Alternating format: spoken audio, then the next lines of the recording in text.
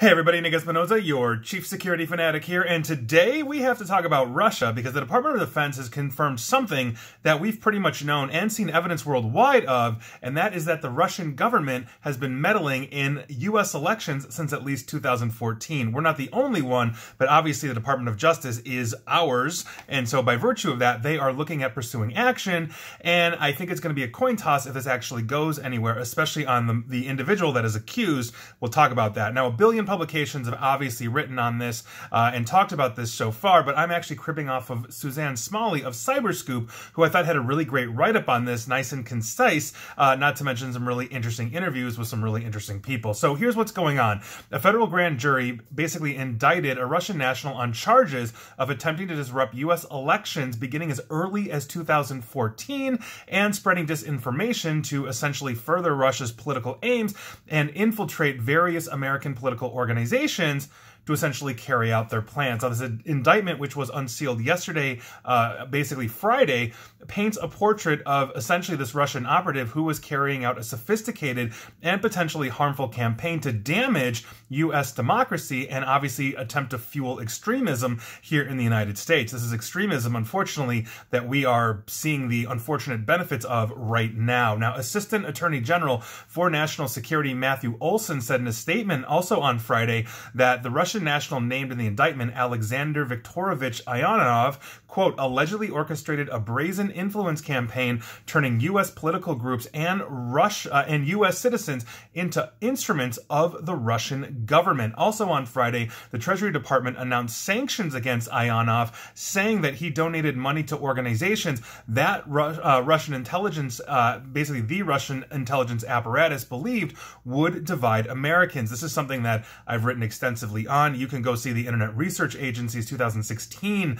advertisements uh, that they were putting out on Facebook. They spent about 130,000 or so, if I recall, for about 3,500, 4,000 different ads, and you can literally see them attempting to drive a wedge. On one side, saying, you know, uh, you know, support our boys in blue. Uh, you know, there are lies that they're they're basically, uh, you know, being brutal, and the other side is, you know, the the police are beating minorities, so we have to stand up against the police. And they are literally sending these to different demographics in the same cities. It's absolutely nuts. Now, going back to this, according to the Justice Department press release, Ionov, who is based in Moscow, Russia, orchestrated, and I quote, a years long foreign malign influence campaign that used various U.S. political groups to sow discord, spread pro Russian propaganda, and interfere in elections within the United States. Now, Ionov is the founder and president of the Anti Globalization Movement of Russia, or AGMR, which is an organization headquartered in Moscow and funded by the Russian government, according to the Department of Justice.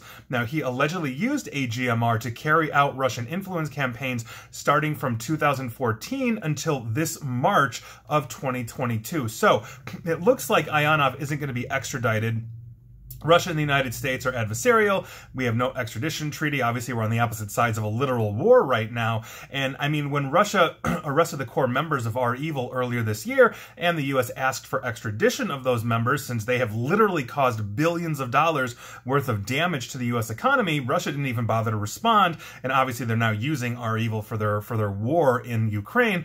So Ionov isn't going anywhere. He is not going to be extradited. He's perfectly safe and comfortable in Moscow. But and this is where it gets interesting because according to Gavin Wilde, who was interviewed by you know by Cyberscoop, he's a disinformation expert at the Carnegie Endowment for International Peace.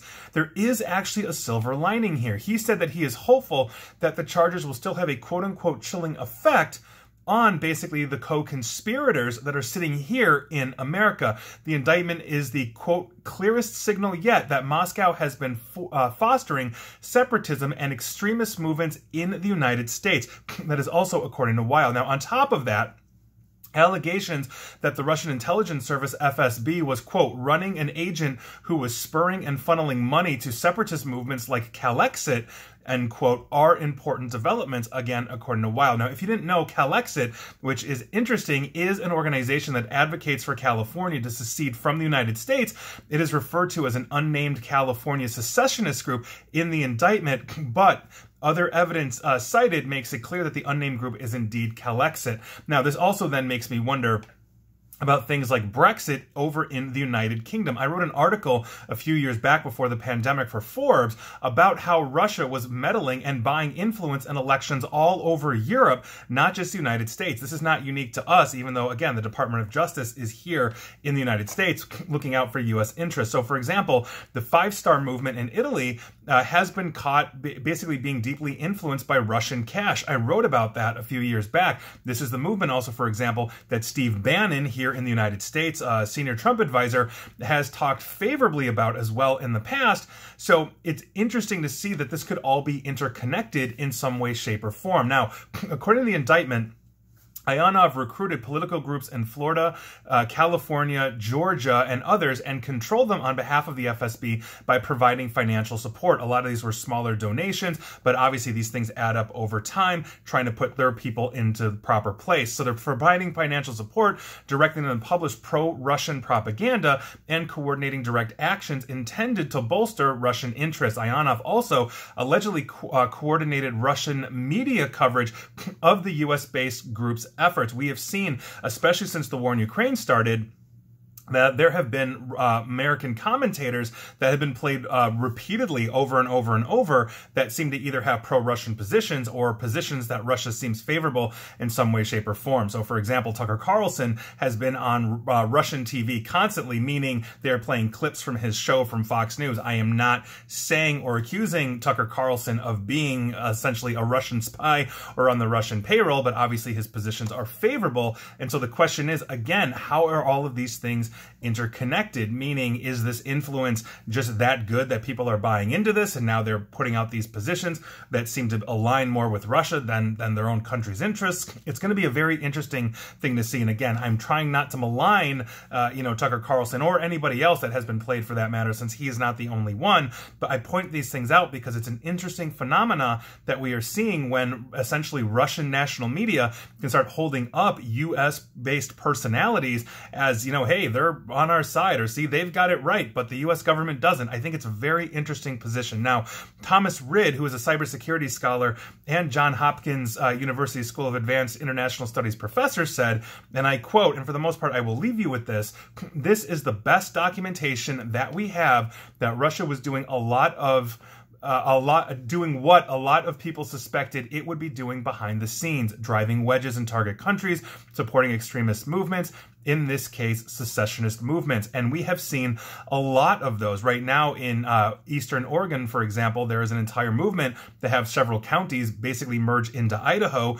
which is a much more conservative state, meaning they vote Republican over Democrat. Oregon typically votes Democrat because their largest city, Portland, sways the state. It's very similar here. We've seen movements here uh, basically to have, um, and, and, what I'm talking about here is Illinois, where Chicago is basically a massive blue city and most of the state is red. We have seen uh, attempts as well to, let's say, break off parts of Illinois and merge them into Wisconsin or other states that surround us. So, so this is a very interesting thing. We're going to see where this goes, but I think this is just more and more evidence, uh, essentially, that, that Russia has been doing a very effective job of essentially swaying people over. If you have, let's say, serious doubts on the government or you have no faith or trust in the government whatsoever, you are a perfect target. And now I know I'm going to hear from a lot of people, Nick, you ignorant slut, you know, like, like, you know, this, this is bullshit, blah, blah, blah, blah, blah.